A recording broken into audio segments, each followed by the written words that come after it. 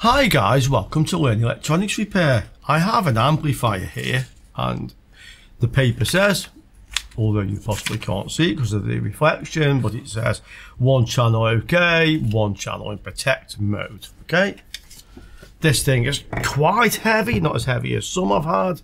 You can see it's MF1200 MOSFET professional power amplifier made by Altair, okay? You can hear the weight of that, yeah. so, as always with these amps, I open them up and have a look first to see what I may see. And then we can work out what we need to do with this one.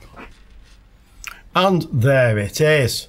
So, two very large pork pie transformers, four extremely large 15,000 microfarad 100 volt capacitors that can certainly give you a very nasty shock, okay we have plus minus here, just to tell from the colour of the wires. These will be ground on these two terminals. One relay here. And there are the two amplifier boards. Okay. They may be the same, just one is upside down to the other. Let's have a look. Yeah, it looks something like that. I can see another relay down there, okay, at the bottom on that one. So they kind of like mirror image of each other or something like that. We have some more wires over here, another power supply board at the back there by the looks of it. Quite possibly a 15 volt supply that one. There will be one somewhere on here I would think. Hopefully not too difficult to work on this one. We're not going to have any short circuits on the input because one channel is actually working we may have some problem with some output transistors or something on the one that isn't working. Given then the fact that it does power up with one channel in Protect and one not, and thinking that through, yeah, I will power this up, but I'll just connect the light bulb current limiter, let's see what it does. Well, it comes on bright and then is going dimmer. So that's charging the capacitors. I'm okay, this is not going to do anything nasty we can switch that off. We'll try and power this up. I'll get the other camera where you can see what happens on the front display. There it is. Okay so we'll power this up. And straight away this is actually saying thermal. Okay it's not an error it's on thermal on one channel? So that's what it's actually doing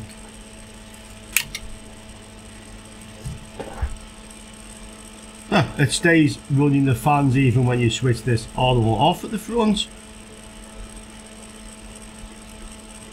That just gradually goes out. Oh, okay, that's fun. Yeah. Thermal. Okay, so one thermal area. I'm going to work on the principle at first that this is picking up like a phantom area because the thermal LED comes on straight away, which seems a bit strange. Obviously, nothing can be hot that quickly. So I need to figure out which of these two channels the problem is on. It looks like, but it's a bit hard to say, the little PCB that actually has the LEDs is down there. We can see that. And here we have some wires, brown, red, orange, grey, pink. Yeah. White. So we have six wires there. We have the same on the other channel and all these wires run through this loom. One of them goes to here. Okay. And the other one goes down there to the other amplifier. So I need to just figure out which amplifier is which. This is marked channel 1 on this side. So I think I could either disconnect one of these or and power it up or maybe I can just get on with the meter. The other way would be to look at the speaker connectors down here and see where they go to. I had a look, it looks like these speaker connectors, which is channel 2, go to this board and this one which is channel 1 goes down under that side to this board that's how it works. from what I can see, this is the actual speaker output on this one. And then the other one is kind of like the same connector buried at the bottom on that one. So I think it's this amplifier module which is giving the error. I think to be double sure, if we disconnect this, and we can just get the meter and see if it connects to there. Okay, so that's quite easy to disconnect. Brown wire is the top one here, so um, that's going to be the easiest one to get to. Let's have a look. We'll just go for continuity, so we'll go brown in here. Does that go to this one?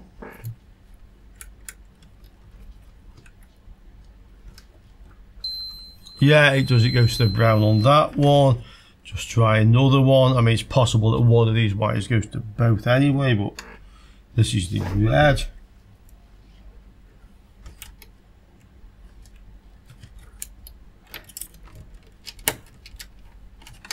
Which looks like it's the second one down on here. Oh, it's a bit hard to get to. Maybe just unplug that as well, actually. Okay, then we can be sure.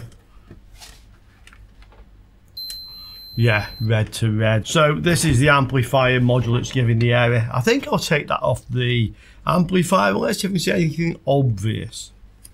Well, for once I found an amplifier that isn't too difficult to get apart, okay. We have the disconnected wires here and here. I disconnected the pink one from here and the blue one from there. And then we just have the signal input. Okay, we'll get us on the bench and let's have a look at it. Okay, here's our amplifier. I'll just get the worst of the uh, dust and fluff out of this and then we can have a look to see what we have. Well, here are the output devices. They're all the same. So we have all the same type of MOSFET. It does say it's MOSFET, this thing, not transistor. Yeah, they marked on here. Gate. Uh, gate P, gate P. I'm not quite sure what P supposed to mean. I would have thought it was Oh, it's D for drain. well, let's turn it the way up. Gate drain, gate drain, gate drain is marked on all of them. So we have a load of MOSFETs there. We have a sensor here, which may well be what we're looking for. And we have something else here, like a thermal trip or something. So that may also be what we're looking for. Let's have a look. We'll go to ohms range.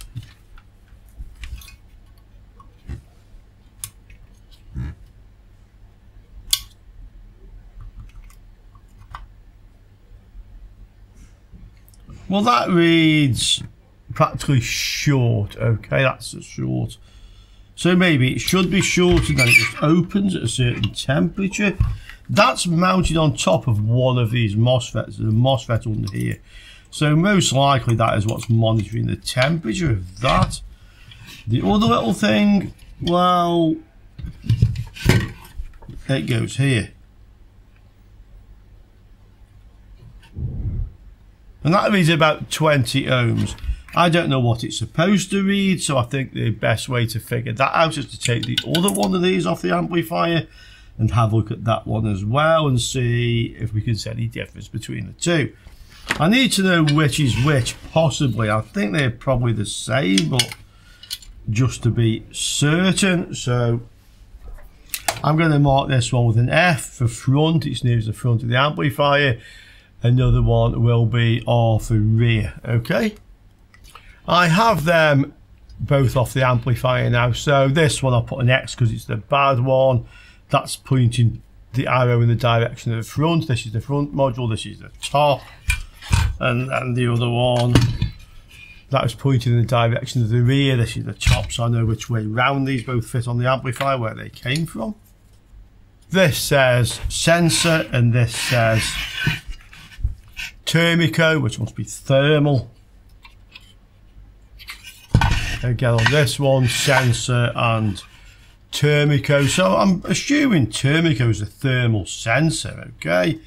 That comes into this little connector or around this little connector here. And this is where the various LEDs attach. So we have no, um, possibly 0 volt there, SC, and TE, but there's only four LEDs, so I'm not quite sure which is exactly which. I can't find a schematic for this. We have a TL074 here, so this is a quad op amp, same on this one. It looks like these LEDs are all driven from this op amp just because of where all the tracks are going there. I'm sure I could just get the front LED panel off and figure out which one of these outputs is the thermal because it could be that one or that one, I guess, most likely. But I'd say we have somewhere to start at least. My first thoughts then is to measure the resistance across here. So that reads basically zero. And that reads basically zero. So they're both the same. So it's not as simple as that. Okay. Does this thing connect to two of the inputs on here somewhere? Or maybe one end goes to ground. Well, if that's not volts, third one, just a guess. That does connect to this. So it connects probably also to the op amp, maybe through a resistor. Or resistor network.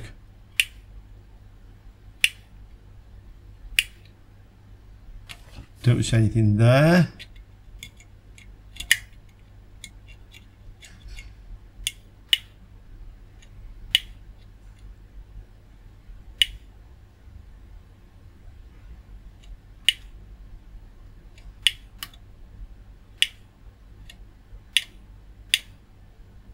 Doesn't connect directly to the op amp.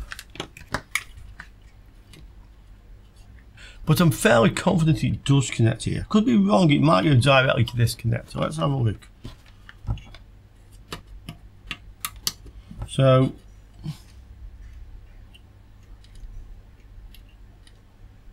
doesn't go there, doesn't go there. That's the one we know it goes to. Doesn't go there. Doesn't go there. Doesn't go there. Let's have a look see if we can see where it does go.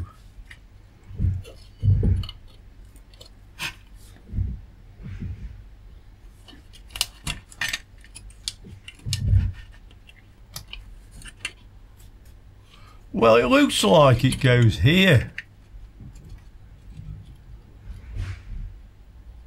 Looks like it does go directly to there. Maybe I had a bad connection. Let's have a look.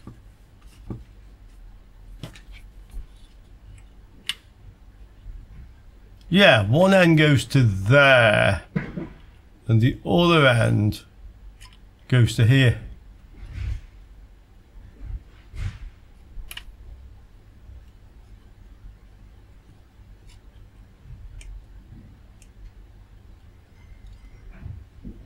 Okay, so if this is like a mechanical type of thing, which just goes open where we reach a certain temperature, they both read closed. Why is the LED on?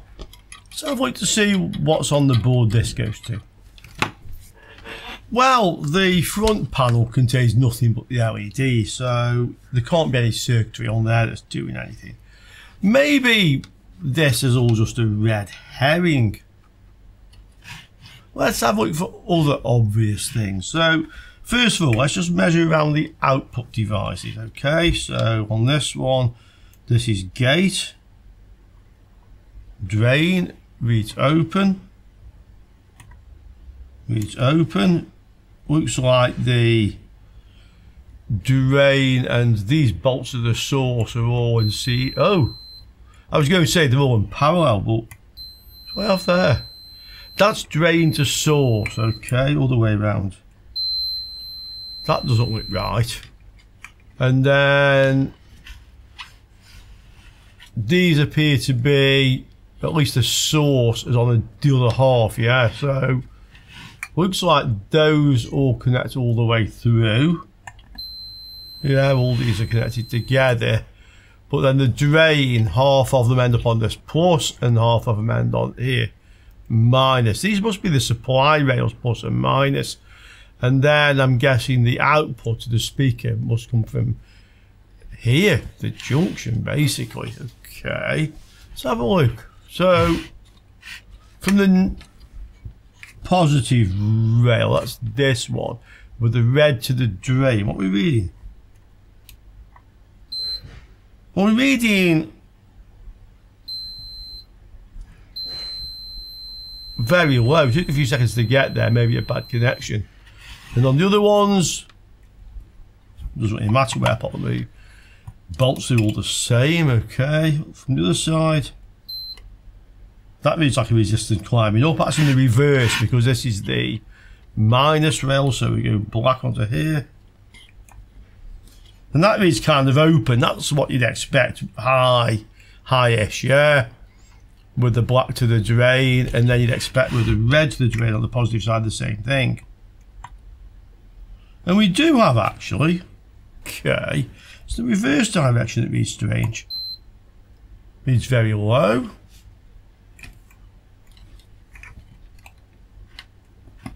Doesn't read low reads very low in the reverse direction. Oh, maybe they are the same. Let's compare with the other one. So this is the good module. Okay, this is the good one. Let's see. Or presumed good because the protect doesn't come on. Well, that reads kind of like high. And then the reverse reads kind of low. Okay. Bad one.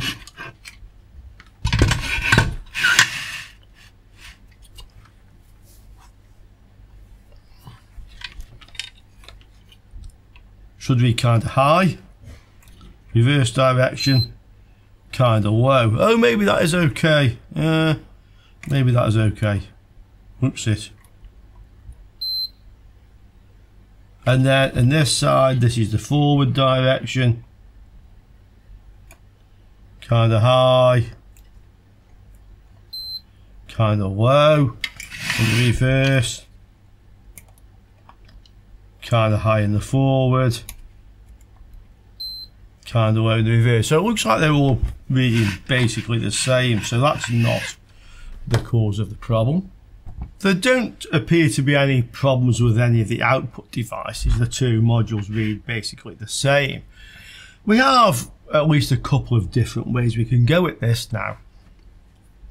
One is to compare these two amplifier modules on the bench, at least check all the semiconductor junctions everywhere and see if we can see any difference. We can do the same by measuring in diode mode on the op amps in the reverse direction. I've shown this before. We can go down that route and see if we can spot any difference between the two.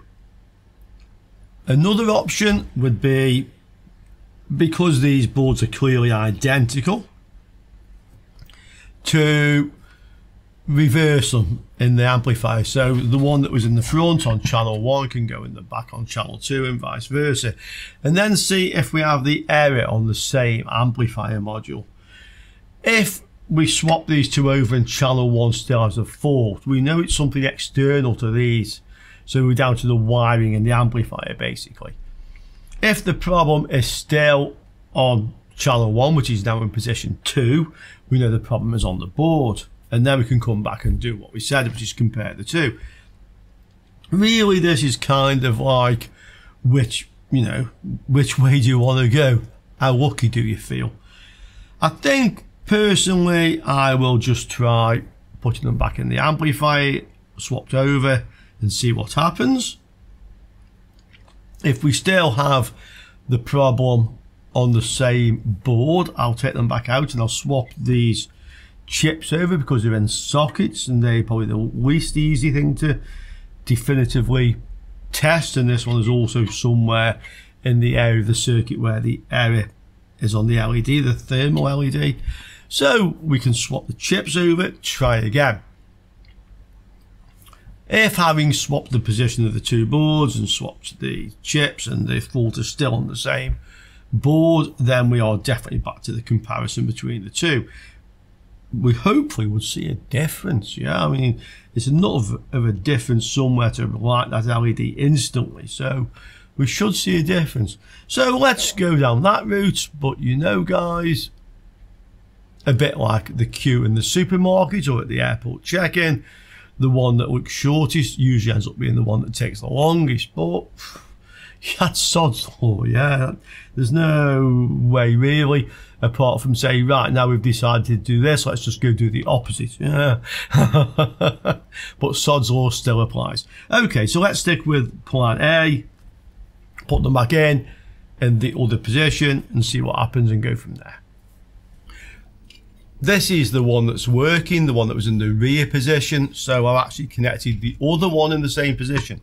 This is just balanced on the bolts basically that hold it in place. You'll notice that these are insulated from the heatsink. So obviously the heatsink has some voltage on it when the thing's running. So I've just put it in here so it's not touching anything, it's just balancing on the bolts.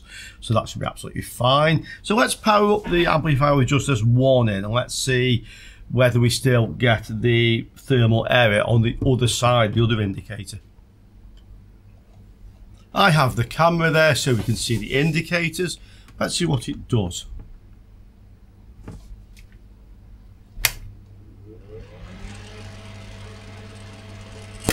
Well, we don't have an area with that one in that position.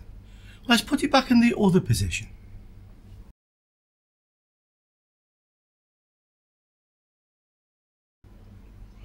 Just to be sure I haven't mixed these up, I've put the one which I think is the good one back in the rear position. So let's power these up again and let's have a look to see what happens. Well, I have a wire catching in the fan, that's what happens. Move that out of the way. Okay, let's go again, but I didn't see any indicators. Yeah, no errors, no nothing. So let's put them both back in. I've connected my two speakers. I've connected an audio source. So uh, let's see if this is actually working. Bit of audio. Yep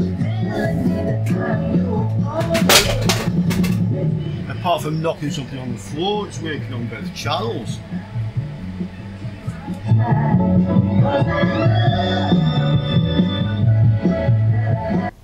And this raises an interesting point. So, when there's a repair, a repair. I've talked about this before. Did I fix it? Well, we can clearly see we had an error on the thermal all the time.